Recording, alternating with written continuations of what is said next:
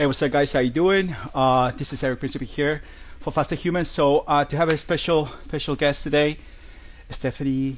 Oh, then she popped already. So she's live with us, and I'm gonna go ahead, little little wave.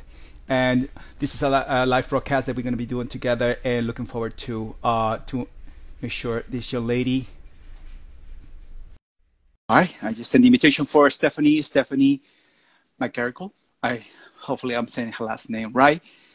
Stephanie's just jumping in. How you doing, Stephanie? Hi, doing good.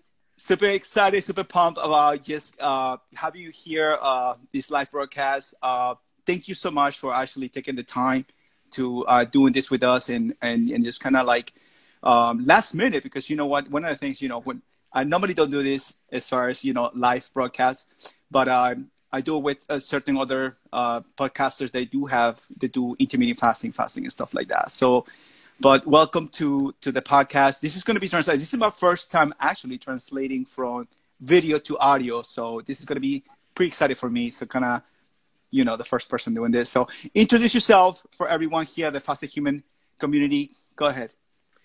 Well, this is my first time doing an Instagram live with somebody. Yes. So that's exciting. um, I'm Stephanie McGarrigle. I live in Eastern Canada. So huh. I've been complaining about the heat here, but it's probably a lot hotter where you are. Yes. Oh, yes. um, but yeah, I I'm somebody who spent basically my whole life very overweight, mm-hmm. very obese. Um, and something just clicked with me in 2017 where eating low carb and intermittent fasting happened accidentally but really naturally my mm-hmm. body responded really nicely to it and i became a fasted human and here i am almost three years later and fasting and low carb and fitness are things that are just very much part of my daily life now yeah and I cannot imagine going back to how the previous 39 years of my life were. Yeah. So, so take us a little back because I know that 2017. What was that tipping point for you? Because I know you have two children and and you share that in your post and right. a little bit of, of where that transition happened. So early in 2017, my kids were really still babies. They were not mm-hmm. one and not three, so babies. And uh, the year started really, really rough. I mm-hmm. have a husband who struggles with mental illness. Mm-hmm. So the year started with him running away. Mm-hmm. And then, not long after that, I broke my foot. Mm. I had unresolved mobility that was just not getting found out why. Doctors couldn't figure it out medication wasn't helping, physiotherapy wasn't happening. And then a month after having a broken foot, I had a blood clot in the same leg of where I broke my mm. foot. Yeah. And um, I went to the doctor and they thought it was just the muscles were sore from walking funny. It yeah. wasn't. It was a blood clot. And in massaging my leg, I actually released the blood clot from my leg. And I had severe bilateral pulmonary embolisms, and I was in the hospital for five days. I almost yeah. died. Wow. And I was sent home at 330 pounds on blood thinners, mm. still with a broken foot, still yeah. with unresolved mobility. But now I couldn't even take Advil for the inflammatory pain because of the blood thinners. Yeah. So you could say there was about six months from then until I kind of woke up where everything was a fog. Um, I, I mean, I had no quality of life. I was 330 pounds. I had no movement. It was terrible. My kids were starting to become more active, and I could nothing. Like I could just do nothing, but yeah. sit on a bench. And so September came, and I just got so sick of everything and not being able to move. I couldn't get my own shoes on. I couldn't do anything. And something clicked. I had remembered that a doctor had diagnosed me as celiac, so mm-hmm. um, a few years prior. And I remembered that as part of that process, going more of a paleo eating had resolved a lot of inflammatory pain. And it sort of all came back to me. So Yeah. two, preg- two pregnancies had stood in the way of that information and where I had ended up in 2017. Yeah. But then all of a sudden, it's like I literally had an awakening. I said, Yeah. enough. I can't do this anymore. It's got to be the food. It's not drugs. Nothing is working. Nobody can tell me what's wrong. Yeah. I just did an about face. I just changed directions completely in my life. I woke up and I started cooking cabbage and bacon.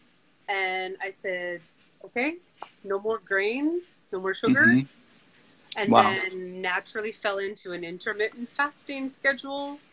And Yeah. then started uh, swimming at, all at the same day Yeah. and and within two weeks i could start pulling my leg back and i could start getting my socks on within a month Yeah. i was off my first prescription within three months i was down 50 pounds everything was coming back not only coming back to normal but surpassing what normal had been for a very long time Yeah, that's that's that's amazing. That's like you you went through a transition to an actually kind of fall into intermittent fasting and and actually kind of work your way towards just making little changes every single day. Um, who was your who was the person who actually that uh, inspire more and so kind of like the person that, or people that you follow because we are on Instagram, right? We are constantly you know checking these amazing results and but what what what motivate you most? Because obviously your children, because I did it obviously for my for mine, right? I have four boys, and and I, at the same time, I just want to lead by example. But Mhm. what was that the thing that that you say? Okay, you know what? I'm gonna follow this person. Start following. How did that did it make any difference now? Yeah, it's kind of um, you know how sometimes you get on Instagram or on YouTube and you start going down bunny trails, and one thing leads to another person to another topic, and fasting. Um, actually, fasting goes way back for me. hmm The longest fast I ever did uh, was in 1997 for 25 days. And so fasting for a healing and spiritual aspect wasn't new to me. So I had some people I sort of followed in that sense. Yeah. Uh, but I I came upon Dr. Jason Fung through the Diet Doctor website originally. And it was actually just by chance because a family member who thinks this is all crazy talk was making fun of that website and I had Yeah. never heard of it. And so I said, Oh, what's this Diet Doctor website? yeah. That led me to Dr. Jason Fung, which led me to some of his videos about insulin and leptin and ghrelin. And then I bought his book, The Obesity Code. And Yeah. then I bought the book, The Complete Guide to Intermittent Fasting. Well, then that led me back to Instagram. So who's this Jimmy Moore guy? So I started following Yeah. Jimmy Moore. And then uh, Tristan on Primal Edge Health and Thomas DeLauer and Dr. Yeah. Berry. And it's just, it kind of steamrolled from there. Yes. And then it would come back to the fasting method, which at the time was called the IDM program. Yeah. Um, but it kept coming back to Jason Fung. It seemed to always Yeah. come back to Jason Fung. yes. um, but the, but there's so there's so many people. I mean, Dr. Eric Westman, Adam, Dr. Adam Nally. Um, like there's just so many people who have such a wealth of fasting information, but also Yeah. really different. And I'll tell you, um, a lot of people I find in the United States and Canada are still not necessarily following him as much yet. But somebody who's incredible, his name is Scott Murray. okay. And his account is called Good Life Theory. So he's in the UK, and he actually wrote a book just this past year called uh, Fasting Mother Nature's Game Changer. And he's brilliant. He's Yeah. like, super brilliant. And so Good Life Theory has also become an account and a person, Scott, who uh, in- I interact with because he fasts every single day and usually does works so well for him and that's been another Yeah. interesting thing i try to to watch you know how that goes but so many people it's like bunny trails you could just follow Yeah. all day yes, it's, it's true, and I, and you know, it's, it's it's funny you say that because that's that's how actually I got into intermittent fasting, fasting in 2017, November 2017. I was already I already has lost a specific amount of weight and so on and so forth, but but it, actually I was listening to another podcast, and then Dr. Dr. Jason Fung was actually invited to that to the podcast. And it was interesting to listen to him and all the stuff that you know he has gone through as a doctor and how to you know he he fell into this whole you know all mindset of uh, how to, he was thought of just teaching or knowing the fact that he kind of sort of was lying to his to his clients and he right. he felt such uh, the consciousness and just knowing that he wanted to do the right thing and just you know went to uh to this whole discovery thing that that's what he's doing I helping so many people. Even you know you find it on youtube and everything's for free and everything is there. Yeah. so you can be able to uh, get more knowledge out of it. We have a question by kimball fasting. Kimball fasting is from the uk uh, which schedule do you fall into? Actually she has a question for you. Okay. I would say like 95% of the time my natural rhythm ends up somewhere between 18 hours fasted six hour eating window mm-hmm. or 20 hours fasted with a four hour eating window and I typically don't eat my first meal until around noon or 1 p.m. Yeah. And I try to stop eating by six o'clock regardless. And a lot of yeah. that also is because of the gym. I don't want to have a full belly and go work out. And evenings work out the best for my schedule for the gym because of my kids. Yes, yeah, I, I can, yeah, I completely understand, understand what you're saying because, yeah, definitely you don't want to go to the gym and actually be, at, you know, getting on onto the crazy workouts because sometimes it's just it's, it's, painful. You're gonna have a full stomach and then you know yeah, I mean, work. Like if I'm going to do something like Aquafit or something like that, I don't mind eating later. But if I'm gonna go and lift weights or do anything strenuous like a HIIT workout, if I eat any closer than three hours, I would say to a workout, it just does not feel good. yeah.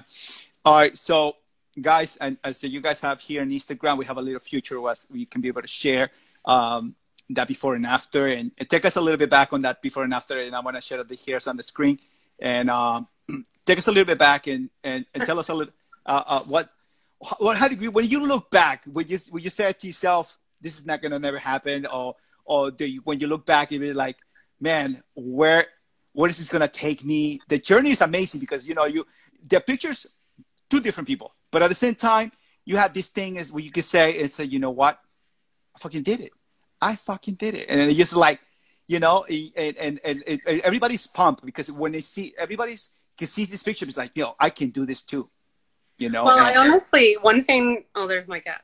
One thing I will often tell people, especially very obese women, because they tend to feel the most hopeless. I find, actually, really, anyone who's severely obese is seriously, if I can do it, I really believe that anybody can because um, some people, I think, spend a lot of their life in a fasting and not fasting, sorry, a diet culture and a diet mentality. And I really don't think I did.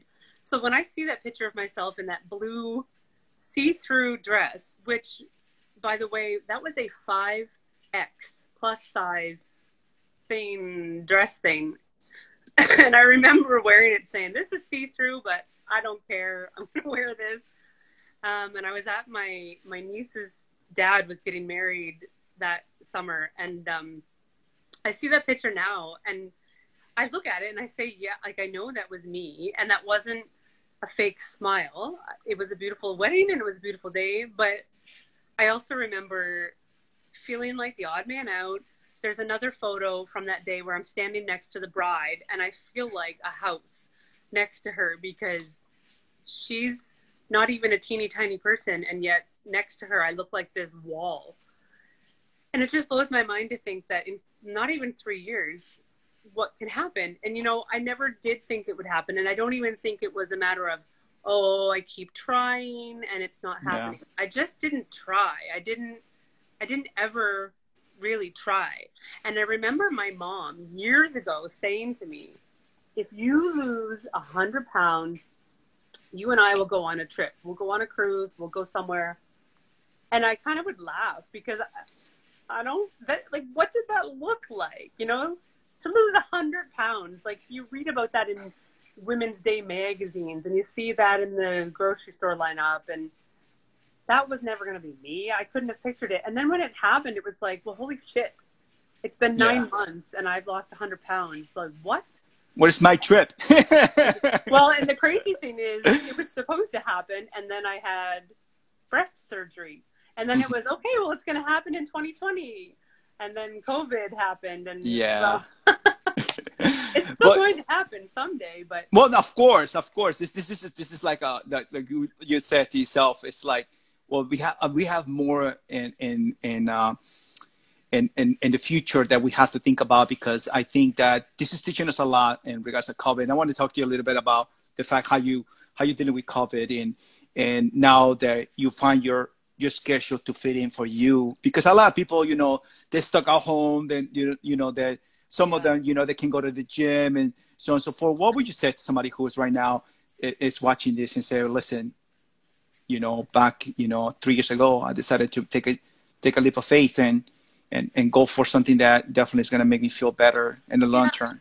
I mean, I've had coaches in the past who have really tried to um, bring it home to me the concept of if you just pick one healthy habit at a time yeah. to work on, that's enough. And because for me, an area that I struggle not with just food, but in general, is a very much an all or nothing mm-hmm. behavior. And yeah. so I'm somebody who's like, no, I'm going to change my food and I'm going to change my fasting and I'm going to change my activity today. Yeah. Can only do that for so long and you kind of hit a wall. And so, you know, um, there are going to be times in our life where maybe we have, well, my mother right now has a broken ankle, a severely bad break. So the rest of her yeah. summer has just completely been derailed. Yeah. but she can still mind her eating, you know? And, um, and likewise, I had major surgery in January. And so I was already kicked out of the gym routine on January 17th. And I no sooner hit the six week mark and then the world shut down and the gyms shut down. And yeah, you know, it's, it's really hard when our lives get derailed, whether it's from a pandemic or surgery or finances. Yeah. It happens. Yeah. And um, I mean, here in Canada, we get bad winters and the gyms will close because the roads are ice. And so, you know, like, yeah, it's not a matter of saying, oh, the gym is closed. We'll get your lazy ass outside and go for a walk. Okay, but there's uh, 14 inches of snow right now. I might die. Yeah. So maybe not. Well, well, there's no excuse here in Florida. I tell you as much because I, I, I live in Florida and it's super hot right now.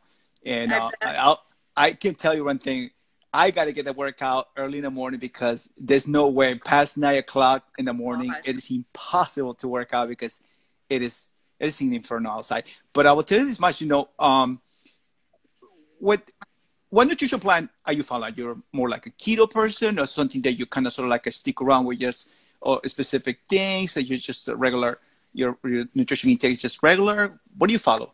So keto happened by accident yeah. Um, my mom is old school, like pre Atkins days, and so when I started to eat sort of paleo ish, yeah, she kind of said, "Well, why don't you take your carbs lower and you'll be in ketosis?" Yeah. what are you talking about? And so that that's kind of also how I ended up with the Diet Doctor website. And then when I realized, people were like, "Yeah, but but fruit," I was like, screw fruit. I don't even eat it anyway. I probably yeah. scurvy. So I mean, I just basically said no fruit. Okay, whatever. I don't really care anyway. And um, I was already really not having a whole lot of bread and pasta because of the celiac. Yeah. And the, the alternatives are just not as good. And so ketosis and keto happened by accident, but then it works for me. I did dabble with carnivore for a little while Mm-hmm. But for me, unfortunately and interestingly, um, I found the carnivore, which is supposed to be the most satiating way to eat, I actually was overeating. Mm. So kind of became a problem. So I've added more um, like low carb veggies back in, and that seems yeah. to keep me a little better. I tried dairy free keto for over a year. Yeah. Um, I kind of like the concept of what um, I don't know if you're familiar with Mark Sisson. So he's Mar- um, the Primal Blueprint. Sounds familiar. Zone. Yeah, he has a keto reset book, and he has uh, some other stuff about primal. So basically, primal is a happy medium between keto and paleo. Okay. I like the idea of eventually, when my body is lean, being able to be, as he would call it, in the keto zone most of the time, Yeah. then achieve a sort of met- metabolic flexibility to enter in and out of higher carb days if I feel like it. And I don't want to use the term carb cycling because I don't really feel like that is beneficial or helpful for most people because they're still in the fat loss phase. Yeah. If you're trying to lose fat and you're cycling in in, in and out of high carbs, it's not really going to be, it's not going to serve you. You're just going to constantly be getting back into ketosis. But when you're lean and strong and have Yeah. an optimal body fat percentage and you're working out, I feel like there's room for that. So I'd like that to be the end game. But for now, keto and fasting, which happened by accident, but it's very Yeah. natural. It feels good.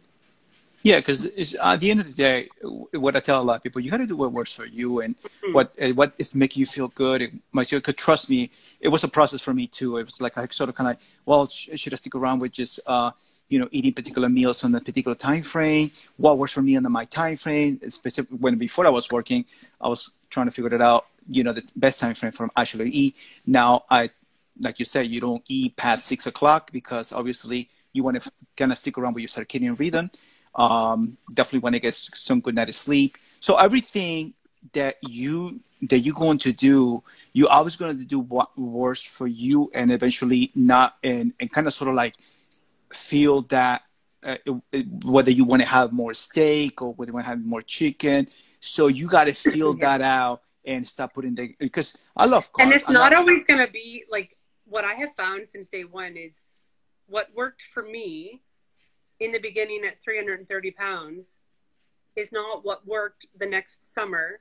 And that's not what works this summer. What works right now is not what worked in January when I was post op. So I find there has to be a willingness to always push the limits and think outside the box and try new things. I like biohacking Mhm. because our bodies are not always going to respond to the same thing we did even a week ago. And for Yeah. I mean, men have hormone cycles as well, but Yeah. females more so than men have, you know, very strong cycles. And so for women, there's a lot more um, biohacking that has to happen to suit what's going to fuel your body and make you feel best hormonally even throughout the month. Yeah. I was going to ask you, have you uh, think about doing a bit like standard fasting, uh, more like a, uh, you know, 24 hours, 40 hours, 76, because we, we are, I, I do at least once a month, I do 72 hour fa- fasting, but for you, have you gonna cross your mind that it's something that you're thinking about actually doing? Yeah, right now I've sort of been pushing the limits more so since about the middle of May um, with more fasting. So I've done 133 hours last week. Um, I did seven days last month. I've been doing some 72s, some 48s. but yeah, um, I've done a, like a seven day in December, and I did one last July. So normally I would do them every few months. Yeah. But right now I've been trying to toy around with a little bit more fasting focused, and then nutritious refeeds, Yeah. um, and toying with different protocols because I haven't quite hit the nail on the head yet as to what my body's going to respond the best to because sometimes I feel so good that I'm like, I'll just keep fasting, but then my refeeds end up as a disaster and I overeat. So I say, okay, maybe Yeah. too long. So maybe next time I'll try 72 hours and one day of eating instead of five day fast with two days of eating, but then eat too much. So it's a, it's Yes. a tipping point. It's hard. It's, it's hard to find a balance. And I'm also somebody who's still recovering and working on binge eating. And so Yeah. fasting for me heals binge eating. And I think my friend might be watching right now. Hey, Mary, um, Hypo Keto Eats. So she pointed out recently to me that the reason I thrive with fasting is because it removes a lot of stress and a lot of guesswork with food. And she's Yeah. right. The only thing is, again, finding that balance of fasting the appropriate length of time, followed by eating the appropriate amount of food in the appropriate window.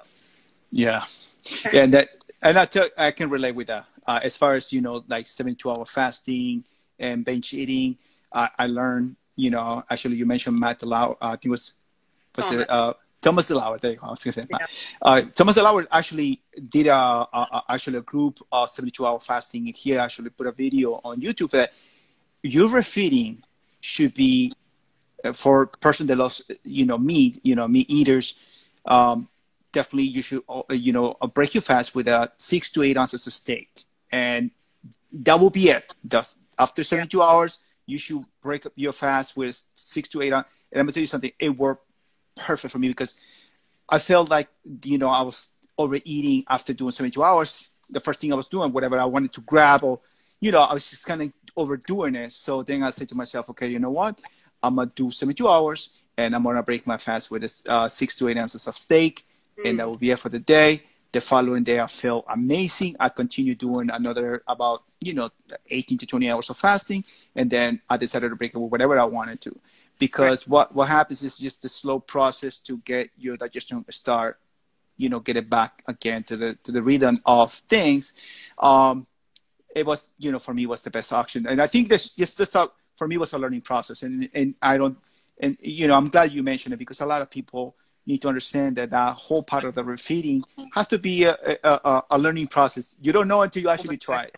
It's true, and I know that there are a lot of people who are aware of who Cole Robinson is. He's the snake snake diet guy. A lot of people don't like Yes. him, but I do, I do respect a lot of what he says. Even if you eliminate the the swearing and the crazy talk, if you hear what he's saying, one one video he talked about yo-yo fasting, and so he said, you know, anybody can fast, anybody, but if you fast for 30 days straight, good for you. But if you don't know how to eat after that, you've just wasted your time. And he, so he said, what people need to focus on is go through like 20 cycles of short fasts followed by an appropriate refeed. And until you can do that, to not Yeah. even bother with the longer ones because you haven't learned the discipline yet. So it really does come down to a, a very learned discipline on breaking it appropriately. And Yes. see, for me, like I've gotten caught up with things like Father's Day. We we overate here, and then it took me six days to recover from that. Yes. So it just ended up not being worth it. Well, you know, th- this is the this is the thing. I, I think that the fact that you that you're saying that it's a learning process, you know, for anybody, especially when I first started 16A, uh, the first the first week, it was insane because I was so used to eating uh, breakfast snack, lunch snack, and Yeah. and that was like, you know, who you know, in my mind, I don't want to lose muscle mass. In my mind, I was, I don't want to, I don't want to, I don't know, I'm not going to starve myself. So that was the mindset, you know, Yeah, we have to relearn everything. Yes, yes, and I- and I thought that you know I because you know I was a personal trainer as an instructor. These are the things that you learn as you you know you get you get your certifications because nutrition is, is such an essential part of it. And you you know you were told, hey, breakfast is the most important meal of the day. So you know it was such a slap in the face when I started learning about intermittent fasting, about all this research, about all this information that is available out there and I was like, man, you know, I, I felt so, um, I don't know. It was just kind of sort of like a, I, I felt like I was not truthful to what it's like to be in the fitness industry. But at the end of the day, I was learning something that definitely is going to be beneficial for everyone, everybody. Because the first thing in my mind you- was, Do you also find like I'm, and I'm sorry if I'm assuming incorrectly, but I'm assuming you are Latin American descent. Yeah. And Yes. I mean, do you find that different, um, like even with men and women of Latin American descent? Because I mean, I lived in Honduras for three years, and the Yeah. concepts around food were much different there. Well, of course, it is different. Now, the only difference is I came in 1992 to the United States, right? So, uh, uh, you know, I was only 16 years old. So I was trying to um, learning the language and learning everything that had to do culture wise and everything had to do with just, Mhm. you know, being here. So, but when it's, when it came down to, because then I remember, you know, I remember my grandmother giving me snacks when I'm playing soccer or juicy juice when I was playing soccer. I just, just knowing that that was not something that we, they were they were doing. Parents do this all the time. They just bring juices and the snacks and all this in the middle of the game, and so snacks was out of the question. We either we either had a breakfast or not breakfast at all, and there was lunch and dinner, and that's that was it. So there was not something like food was not something that was uh, necessarily a, a, crazy thing that people needed to go through. Uh, but then what we started learning is that, you know, these the Western diet that, that it was implemented and all these new set of things that it was implemented was coming towards South America.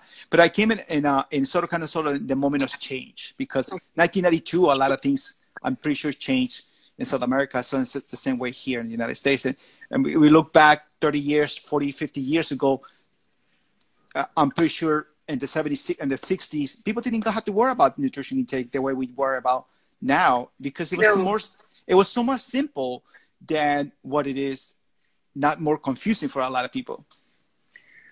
Yeah. So I was going to ask you, no matter who it is, whether it's your mom or the restaurant, which is the favorite plate that you will say, that will not say no to? Oh my god, I feel like that's changed a lot, but I like just ground meat, a bowl of ground meat. I love it. Yes.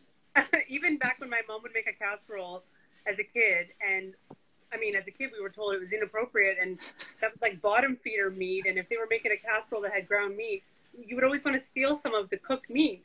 And yeah. that was so bad. But now it's like, I pride myself that my four year old daughter wants to eat a bowl of meat. I'm like, yes. yeah, kind of. You kind of, kind of, kind of teach them and uh, since they're little. Uh, or, cho- or chocolate. There's yeah. Chocolate. Yes. Um, what would you said that if you could have spoke to the 16, 17 year old version of you, what would you say to her? I would tell her that there's a better life out there and it didn't revolve around white bread. Just put down the white bread and you're going to feel so much better. I mean, I wish we knew then what we know now about the celiac, even. You know, not even yeah. keto, but I wish we knew that the bread that I ate with every meal was making me very sick in so many ways. Yeah, yeah, because just eat the just eat that bowl of meat. it's okay. It's okay. Yes, I was gonna say, um, not you know, we we're dealing with COVID nineteen and and everyone who. Um, how do you feel about this whole this whole change? I mean, no mask, yes mask. Uh, I, you know, at the end of the day, you know, you're you're you're out there. If you go out there to the store, I understand you want to wear a mask. But if you're yeah. outdoors, if you go to the beach, if you go into the park, do you need to wear a mask? So, um, our province in the eastern part of Canada has done really well at having the lowest of cases in the whole country. Yeah. We don't know how, but we have.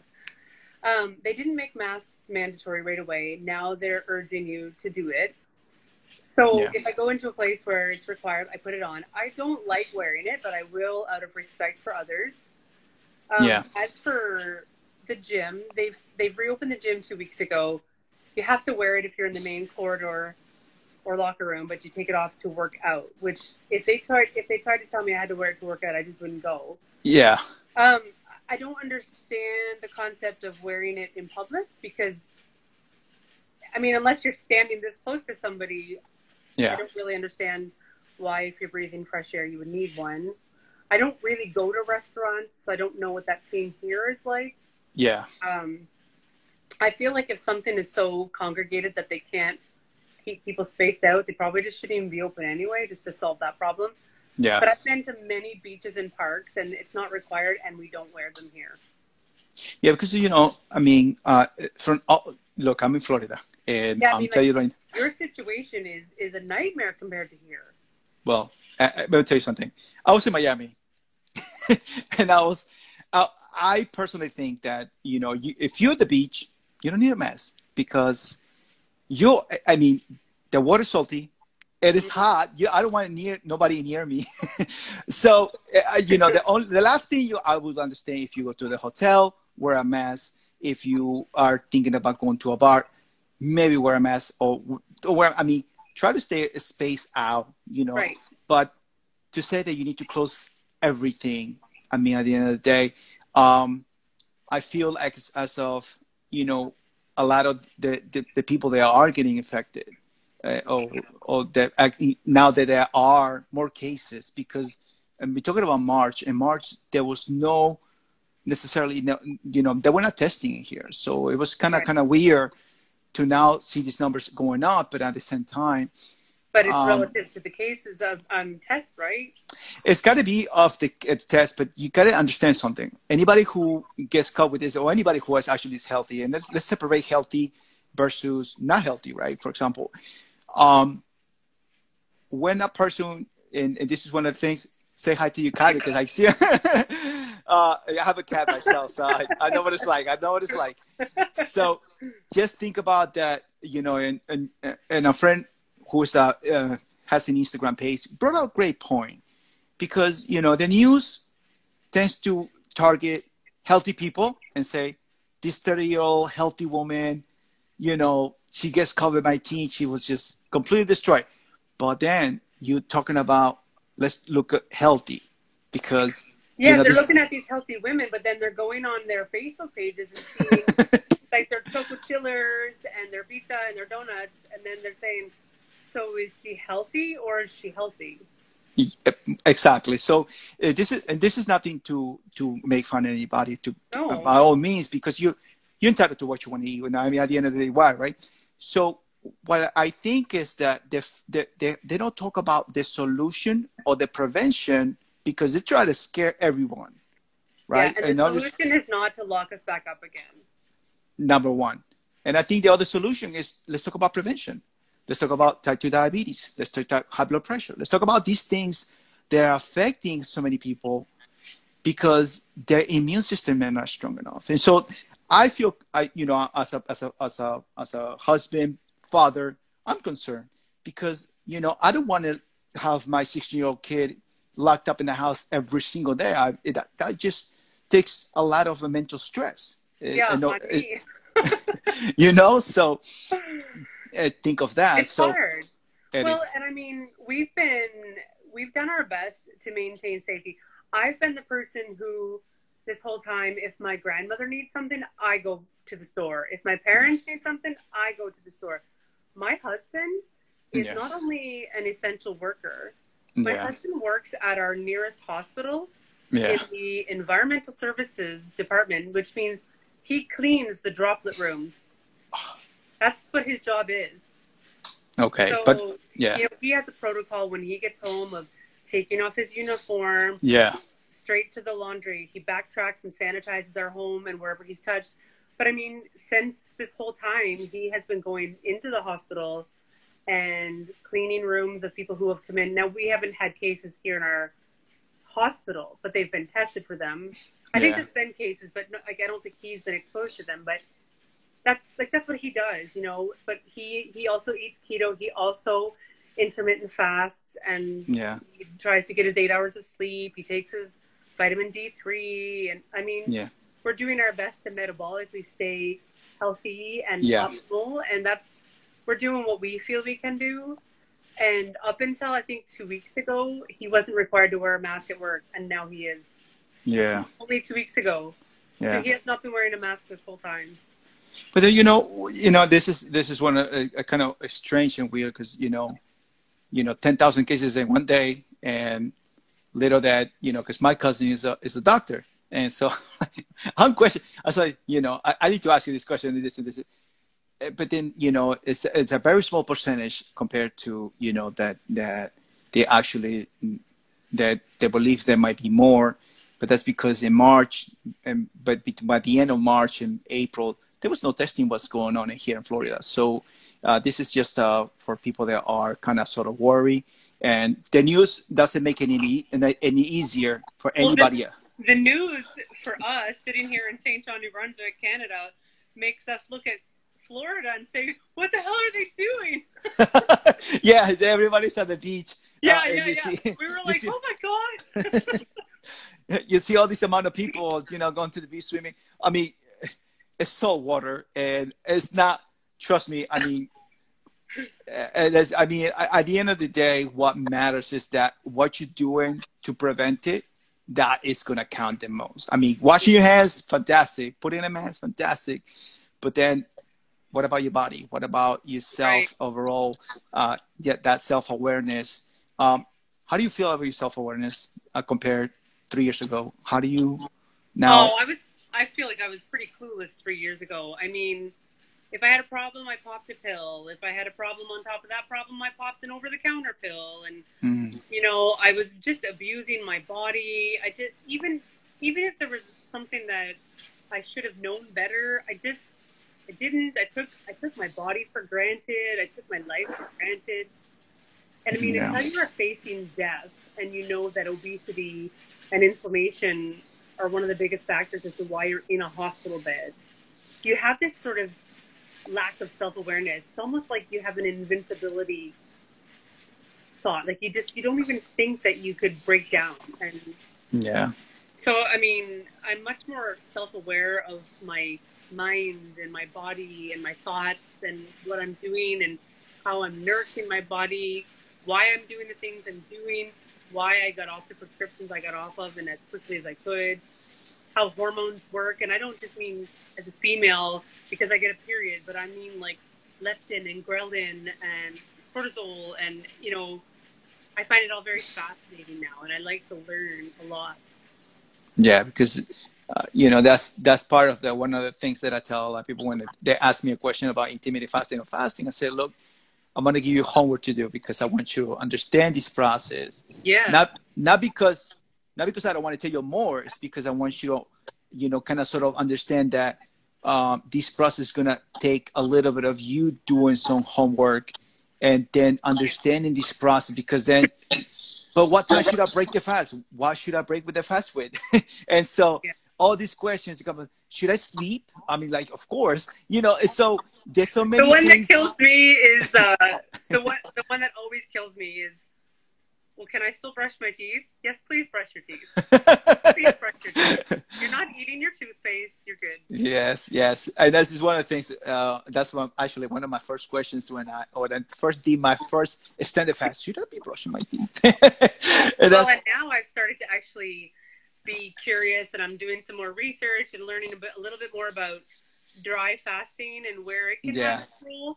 And so there's so many subsets on that too: soft dry fasting and hard dry fasting. It's just like, yes, uh, so so much different.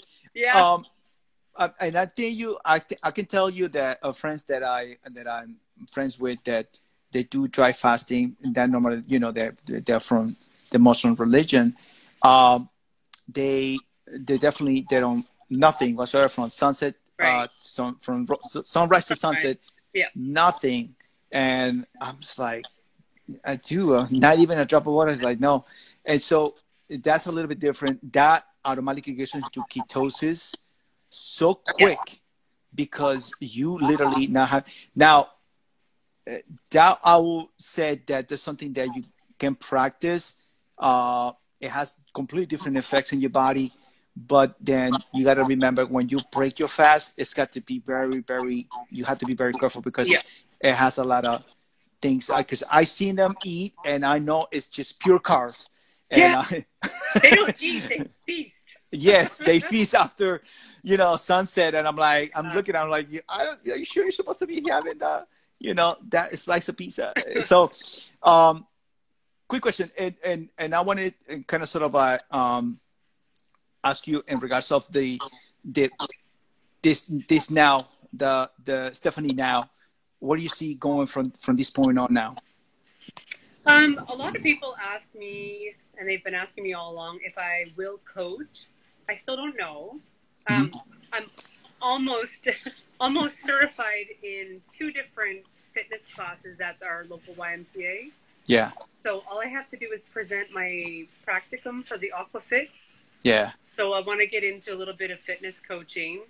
yeah, Um, I help a lot of people, and I've had people come and have coffee in my living room to help them and talk to them about their health. But I don't know if I want to get into it in a per profit venue, just because going back to what you said about giving people homework. My experience has been that people don't want to do homework; they just want you to tell them what to do.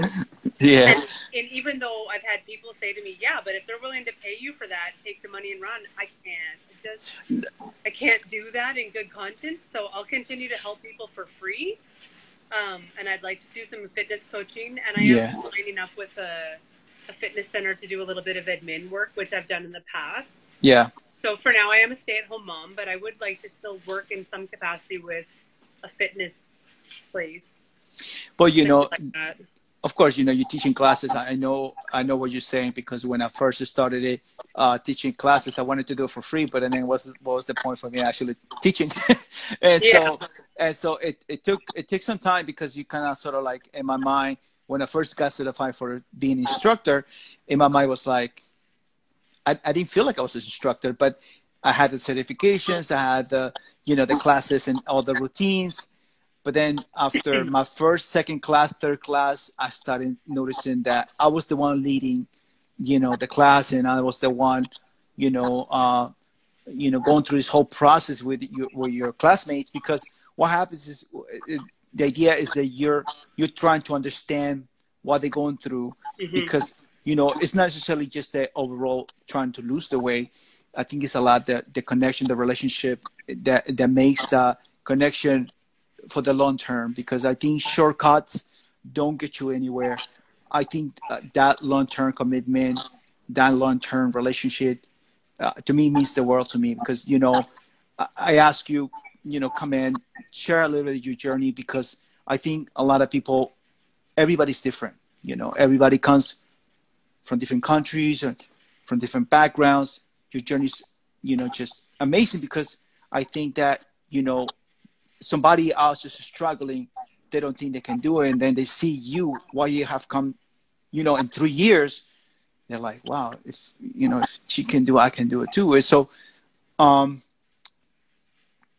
what would you said that that you that you wish you, I mean I know you wish you should know back then, but you know that now that is is now more more more like a how do I say it? It's more like a you're now it, you're you're yeah, not only do you building that confidence, but you know now there are and this and this and this journey has taken you to to a, a different level now. Where is it that that is Stephanie now not just being self-aware, but now there is going to to get to the next level? like I just my my thirst for knowledge and willingness to always learn, I think is going to help me, whether it's just being a good person, helping people for free because I want to, or if ever I wanted to align with somebody who's certified and maybe work in a certified coaching setting. I just, I want to help people, but I want to be part of this whole, I don't want to say game, but I want to be part of this team effort of people I have followed and gained wisdom from, I want to be somebody that other people gain wisdom from as well yeah. going forward. Like I never want to stop learning, but I want to also be a trailblazer and have, you know, the simple stay at home mom from next door see my story and message yeah. me and say, Oh my gosh, how do I start doing what you do and be able to transform their life? They are actually the one transforming their life, but to be that catalyst with them is yes. so empowering, you know? Yes. You go to bed at night knowing that you made a difference. And that's the that's the most important thing in, in the whole world. I mean, to me, bringing you here, you know, on this platform, and and and somebody can see what you have done, and they say, where can I connect with her? Where can I, you know, uh, talk to her? Can can she, you know, can she give me a few tips and stuff like that? At the end of the day, to me, that's and I mean, on Instagram, it's more of like glimpses every day. But if anybody goes through my bio on here and goes over to my Facebook page, anytime mm-hmm. I write a note, it stays on there. So, like, I have one that's called uh, guide for a resource guide for fasting and keto, and mm-hmm. it has links and profiles of people to follow, videos to watch. I have one about sheets versus treats. I yeah. have one um, that talks about setting intentions versus setting goals. I have uh, Dr. Fung um, archives listed there. So, I mean, there's always stuff on my Facebook page too that people can come back to and save and read and refresh on because um, Facebook is a larger platform to save that kind of information. So, you know, anytime I have an idea like that and I write it out, it, it stays up there. I was going to ask you, um, where if this is a, this is a question that I always ask to everyone in the podcast is if you were to go to a country, what country would you go and you know you're gonna be okay? Honduras. Honduras. I lived there for three years. Okay, I, I you know I, I I I know Honduras because obviously I, I went through I went when I came to the United States. I was in Panama. I was in I was in Costa Rica. You know, just to knowing these countries and and and Honduras. How is the food over there? Um, honestly, it's kind of bland. Like they have frijoles and and uh, but I didn't find things spicy or like until you go to Guatemala, it's quite simple, like good food, but quite simple, like avocado, fried eggs, fried chicken, street like my like carne asada. Yeah. You know, um, but very simple palate. Um, but I liked it. I liked I liked eating frijoles every day and tortillas. well, you know, it's, it's South America. I mean, they, they do have. I know for sure they do have uh, tra- very traditional foods, and, and and especially Honduras and all these countries. I really miss baleadas. I don't know if you know what they are. Well, go ahead. I'm I'm Um, not. The baleada in Honduras. So it's just the tortilla de harina, and then they put the um, frijoles refri. Yeah, they Refried. Yeah, and then they have mantequilla, but it's not like butter here, and it's not sour cream. I don't even know what it is. They call it mantequilla, but I don't know what it is. And then Parmesan cheese. Sometimes they put scrambled eggs in it and then just fold it over. But it's just so good, so good. Well, no, you know, every country has that specialty thing that you know, like you know, in my country we talk about ceviche, and we talking about lomo saltado. so there's a lot of foods that definitely trust me. I know a lot of people that you know have gone to my country. You know, they probably see country? uh, Peru. Oh, I'm from Peru. okay. So, okay, so we have a few more minutes. I wanted to, where can people find you? Because in my podcast, I want to make sure, obviously, the Instagram, uh, where can people find you? So my Instagram and my Facebook are the same name, Stefalupogus.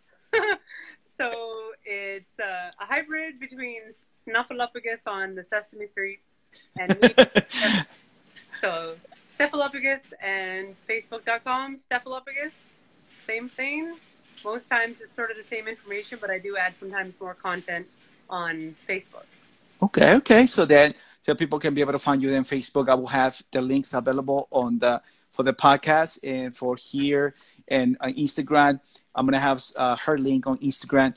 I just want to um, I want to leave this uh, podcast, this live broadcast, um, in regards what kind of question will you ask to the fasting community that you would like to live or you know give a take on you know what we like to live to anyone who wants to come in and you know connect with you So what am I going to ask people? yeah or you know people can ask you anyway i mean literally i am like i'm like an open book Mhm. um if people especially i encourage people who are coming at a place of you know life at 300 pounds or more and feeling like it's just not conceivable that they could get that weight off definitely feel free to reach out to me privately on either facebook or instagram and you Yeah. can ask me how to get started and how fasting can have its place in your life, even if you're terrified to go more than five hours without eating. Um, just ask me and don't be afraid and don't think that any question is either too silly or too personal. If you want to ask me questions about fasting and poop, go for it. yeah and, that's and that's yes anything and i think that having that kind of sort of open door uh, can help some can help so many people. Uh, stephanie thank you so much for taking the time to doing this one hour. I know you have you know family things going on and so many things going on but i want to so grateful and thankful for for that for that opportunity you've given us and kind of learn from you and uh, your little bit of the journey that you have gone through. It's amazing what you have done and I'm pretty sure that people who is going to watch this video, people who are going to listen to the podcast, you know, I, I just look forward to, you know, help another life and, and you know, the long term of this commitment uh, to help, you know, our fellow human beings. Thank you for having me. It's been fun. Thank you. Have a good one. Take care. You too. Bye. Bye. Bye-bye.